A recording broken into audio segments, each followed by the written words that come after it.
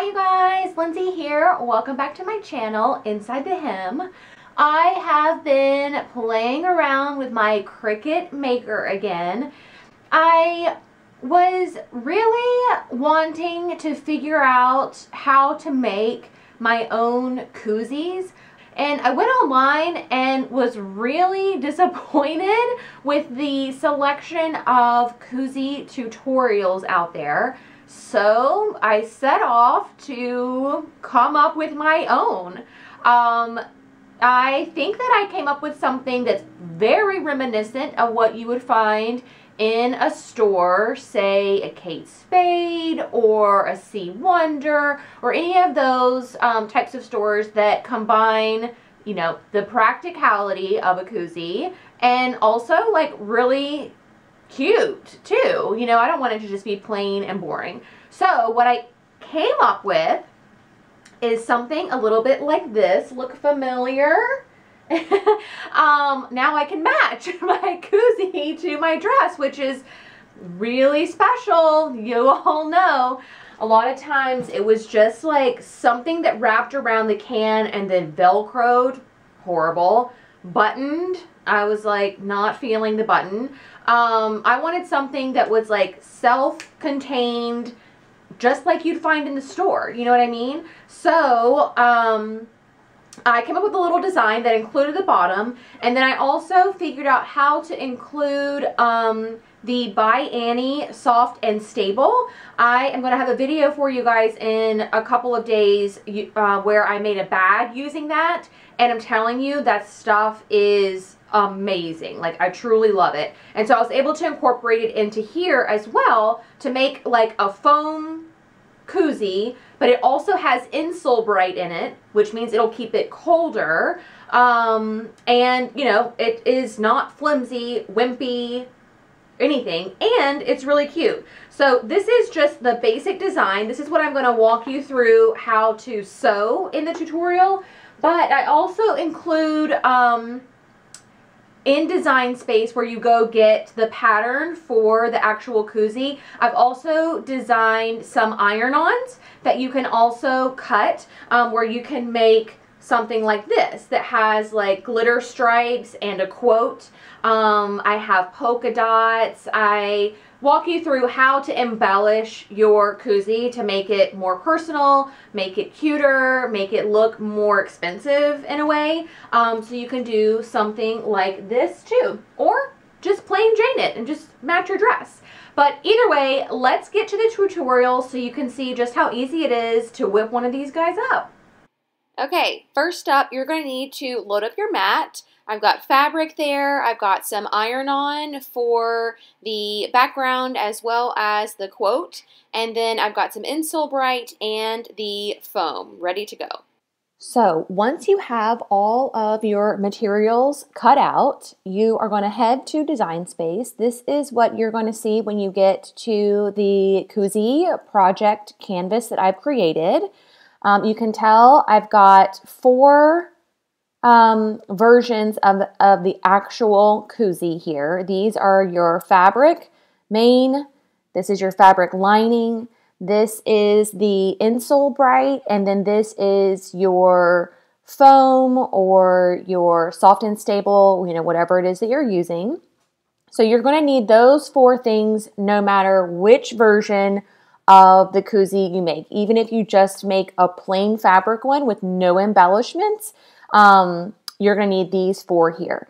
Now, this is where things start to get a little bit fun, and obviously, feel free to make your own. You don't have to just use these, um, but I've got our um, stripes here, um, and you can see that whenever you lay them on top of the fabric, they match up with the you know main body. This is the bottom of your koozie or where your the bottom of your soda can will go.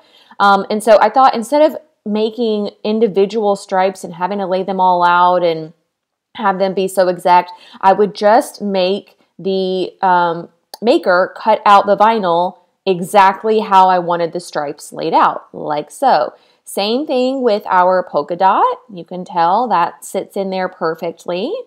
Um, so if you want to do like a background with iron on vinyl, you can choose from stripes or dots or make your own. Um, it's really easy to do uh, real quickly. I'll go to images and I almost, almost did this one with an anchor. Um, let's do anchors. Let's filter to single layer. Um, and you can put in an anchor like this. Um, my polka dots are half an inch. So you make it itty bitty. Here we can zoom in a little bit. Um, and then you can either use the polka dots as a guide and just lay the um, anchors over the dots like so. That's probably how I would do it just because all the math is already done. Um, and of course, you're going to want to make sure these are all in a straight line. But I would make a straight line and then I would select all of the anchors. I would move, well, select all the anchors. I would weld them together. That makes them all one unit and not four individual anchors. Um, and then I would duplicate and then you've got four more and you start to offset them like so. Let's just move this out of the way. Um, and then from here, if you want, you can just keep welding and duplicating, welding and duplicating. Um, but again, you're going to want to do a little bit better of a job to make sure they're all in line. I'm just kind of eyeballing it here.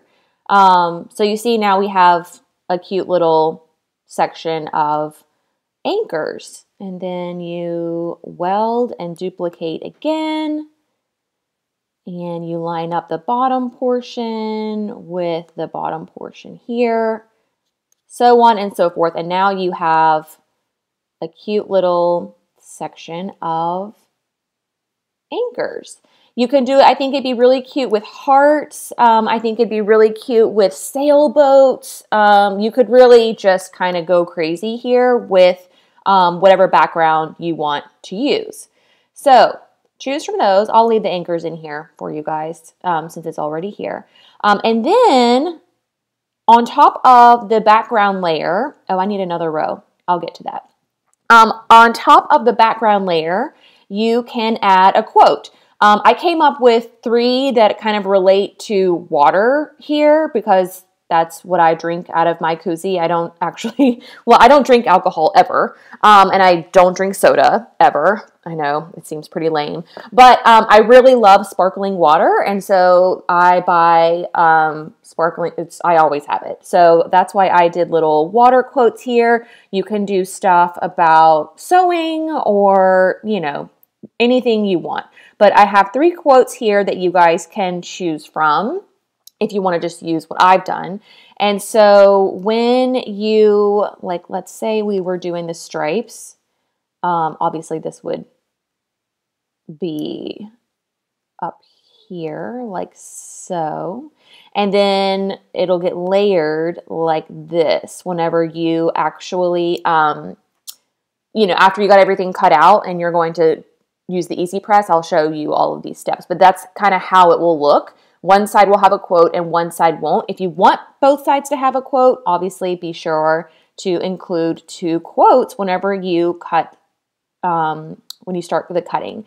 So that's what I'm going to show you how to do now.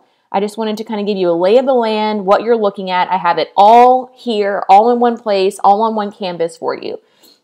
And this is how you're going to pick and choose your design for your project. So like I said, you need all of the actual koozie shapes. So all four of these are going to stay. Um, we are going to assume that we want to do polka dots. So we have polka dots here. Um, that means we do not want anchors. So you click the little eyeball and the anchors go away. And then you click the little eyeball for the stripes and the stripes go away. So now all we have for background is our polka dots. Um, and then we want to do, let's just do the hydrate quote. Um, or actually, let's do this um, anything's possible quote. So now we want to keep that one open, but we want to close this guy and we want to close hydrate. Okay, so now that we've got exactly the design that we want with all the different um, designs for each material, we are going to click Make It, and it is going to sort all of this by material, um, simply because I have assigned a color to each um, type of material. So the first one is going to be your main fabric. Um, I'm using like a twill or, you know, sort of close to canvas um, for this one. So we um, would click continue from here. It's going to find my machine and it's going to prompt me to select a material. We can browse all materials and go to fabric and then choose like canvas or um, it's I think it might even be a twill so we could choose denim. You know, you just want to choose whatever fabric makes the most sense for whatever you're using. Um, and then you would click continue and it would prompt you to, you know, load the mat into the machine and start the cutting process for this specific mat. When that one's done, then you're going to come over to this one.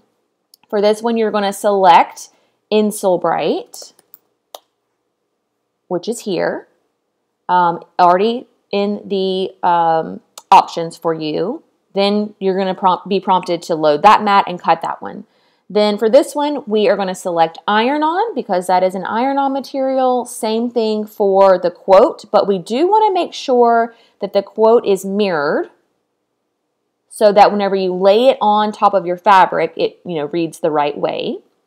Um, and then this final one, we are going to um, assign that what they call flex foam. So that's already in the system as well as like a, a preset.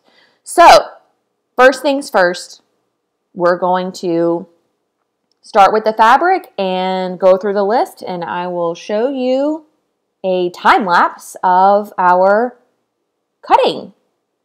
It's kind of my favorite part.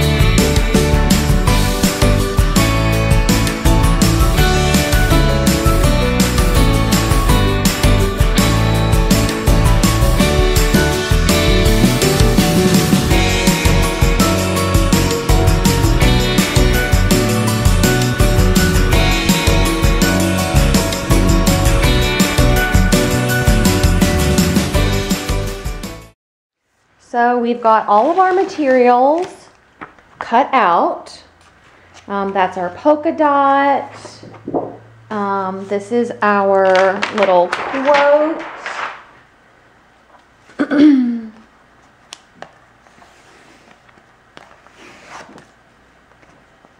don't know if y'all can see the words on there. Probably not. Um, there's that. Then we've got the um, soft and stable. Look at this. Cool. Just comes right off. And now we have, this is our pattern piece for the koozie itself. This is the Insulbrite.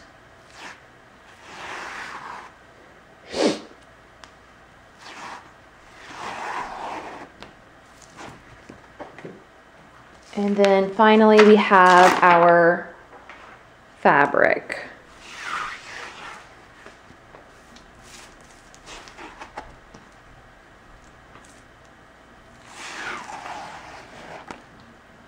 One for the main and one for the lining. Okay, so now that we have all of our materials cut. Um, if you're doing a design like I'm planning on doing with these polka dots, then we need to go ahead and weed our iron on. So you get your little handy dandy weeding tool. It looks like this, kind of like um, what they use at the dentist, if I'm being perfectly honest. And you come in on the, like there's a plastic coating on this side, so you don't weed out that. You weed out the actual vinyl itself. And you just come in, get a little part started like that, and then just peel the negative space away and you'll be left with all of your polka dots. Also a very satisfying um, process. Some things are harder to weed than others, obviously. Like our quote here has a lot of little um, cuts on it. So you want to really take your time with that. And, you know, you have to get inside like the O and you have to get in the middle of all the A's. So you really want to take um, a lot of time whenever you're weeding out the quote. okay, so now we need to adhere the um, polka dots to our, to one side of our fabric. Um, and so you simply lay out your fabric Lay out your dots. First of all, how cute is this gold and pink together? Oh my gosh, so cute. Um, and then you need to follow the instructions for the iron-on to press or to heat this and bond it to your fabric. I am going to be using my Easy Press.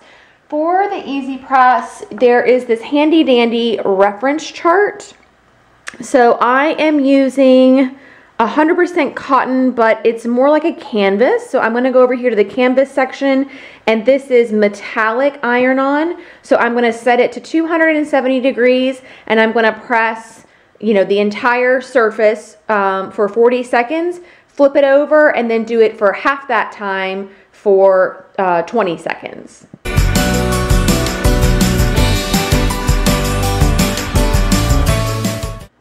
Okay, now the metallic iron-on needs to cool completely before you can peel the backing away. So I'm gonna leave that to set on the Easy Press pad and just completely cool. If you wanna see, here's what the stripes look like. And this one I used the glitter iron-on. Isn't that so pretty? So that's what the stripes look like. I did end up, after I made this prototype, I did end up widening the stripes so they will go all the way um, to the edge. But that's kind of what the stripe looks like. Um, and then I cut out um, a version that is not going to have any um, iron-on on it. I'm to make this one lace up the sides with a little pink ribbon. It's to be really cute. And then this is the one that we are going to make. This is to be completely plain. Um, this is your kind of like base, basic um, koozie with no embellishments. Okay, here we have all of our pieces to make just the basic koozie with no embellishments. I am going to attach the lining to the foam and I'm going to do that by doing kind of like a little bit of a quilting method. Um, I, I need the foam to kind of be smooshed down a little bit. That's a technical term. Um, so I'm going to do um, half inch stripes. I call them stripes, but really it's just um, a basting stitch set apart half an inch from each other.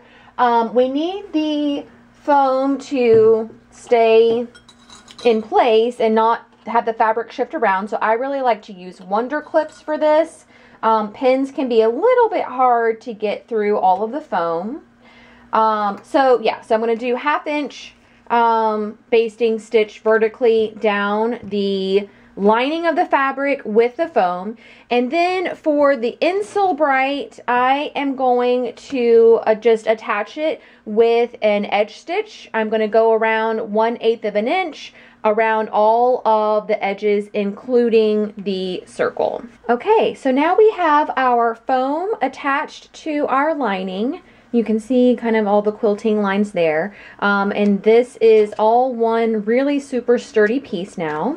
And this is our Insulbrite um, attached to the main um, side of our fabric at a 1 8 inch. So here are our two pieces. You have a couple of options here depending on how comfortable you are with your serger. You can either serge around all of the edges, which is what I am going to do. It's a little bit wonky and a little bit difficult to do. Um, more helpful if you turn the knife off so that it's not actually cutting any fabric. You're not trimming anything away anyways because you're just serging the, you know, very edge of it. So if you're nervous, try it without the knife on. Um, but if you're super nervous and you don't want to try that at all, that's fine. You can do a zigzag stitch on your machine.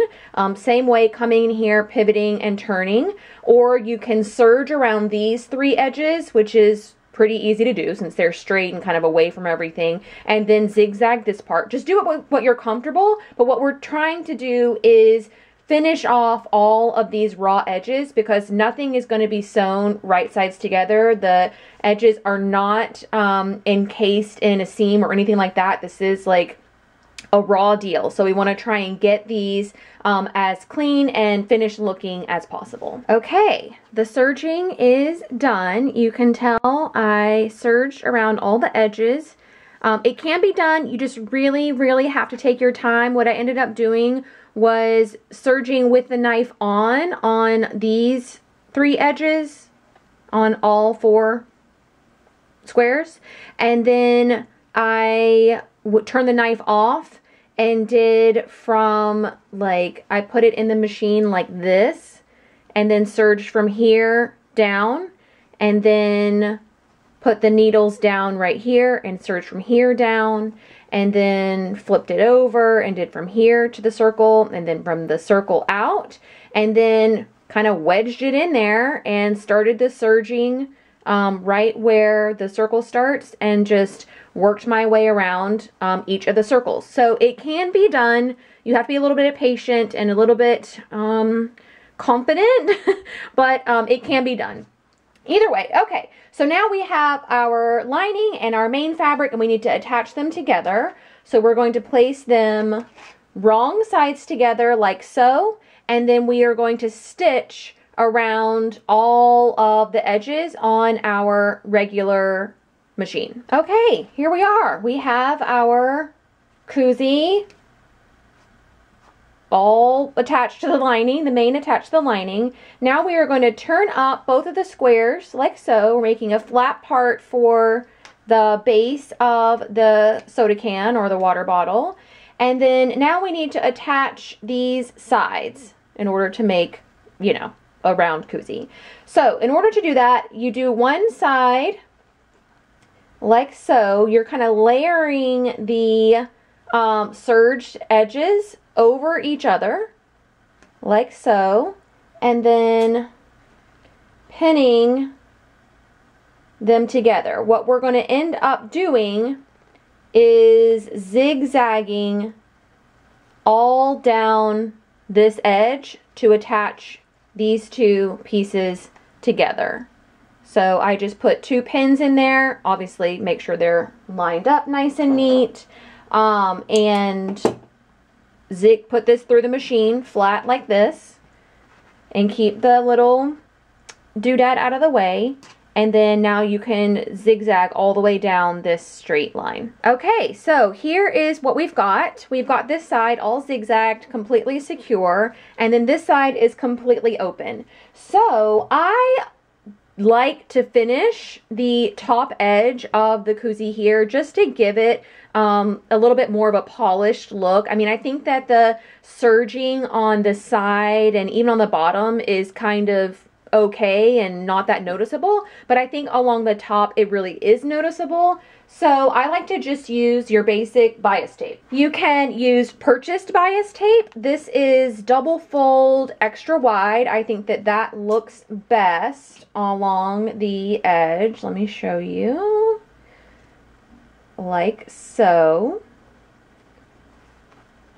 you can get an idea of what that will look like. Really sharp, really nice. Or, you know, you can make your own if you'd like to as well. I would need to, you know, press this one and run it through my bias um, maker machine, but you can get an idea of what that would look like. You could use the self fabric um, to make your bias tape. You can use contrasting fabric. Um, really kind of just whatever you feel like doing. I think I'm going to do this contrast one just to give it a little bit of dimension.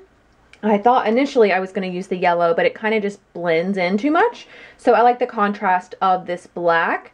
So you just apply the bias tape like you would anything else. You put the, is it the shorter end on? Yeah. You put the shorter end of the bias tape raw edges together sew this all the way around the edge. It should be nice and easy to do since this pretty much lays out completely flat.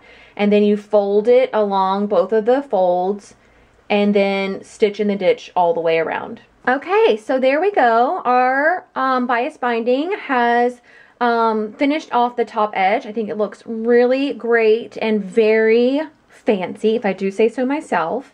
So I have turned this wrong side out so that I can place the um, raw edges right sides together.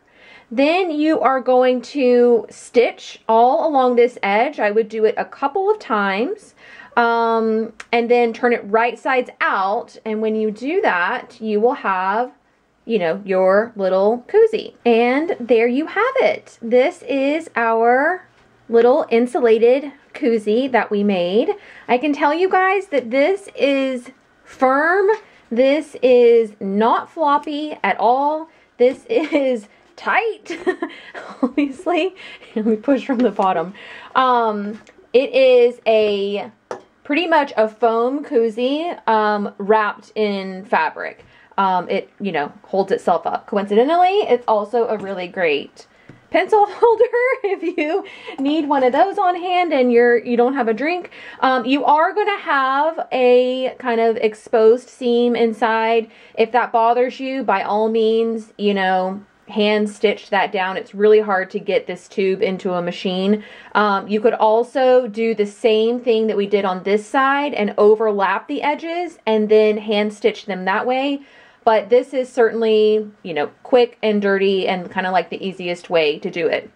Another option, which I am going to do with my um, red and pink fabric, is so you have this side that is um, zigzagged down and then instead of overlapping at all you just um, create some very small buttonholes um, and then feed fab or feed ribbon through the buttonholes to create like a little lace up deal like this. I think this would be adorable if you did like ballet slipper decal or like I love dance.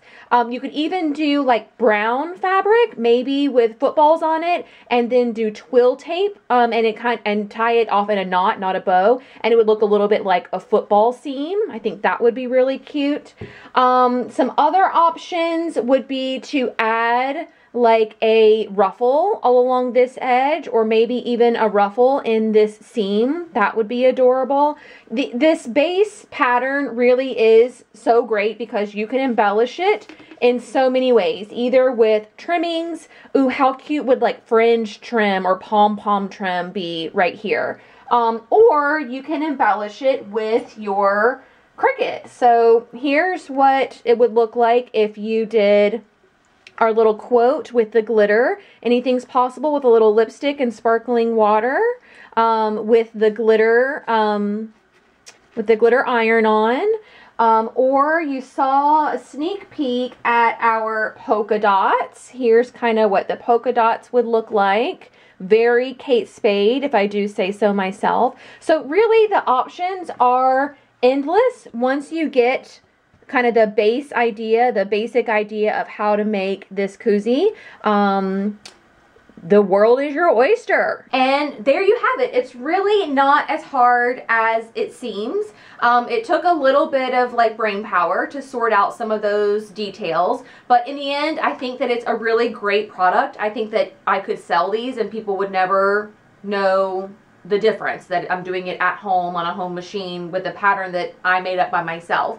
Um, and as I was kind of going over there at the very end, there are a ton of additional ways that you can embellish your koozie. Um, so I suggested a few, but I want to hear some ideas from you guys too. Um, so let me know what kind of ideas you have to spruce up your koozie, either using uh, iron-on from um, Cricut, um, not using the Cricut machine at all, using some kind of extra fabric, maybe felt. I don't know. Let me know what you guys' ideas are, what you picture, um, and I want to try and make a whole bunch of these because they're just so cute and so darn easy to make. So I hope you guys really enjoyed this tutorial and that you'll get out there and start making some koozies. But everything you need is going to be in the description box below. And until next time, that's going to do it.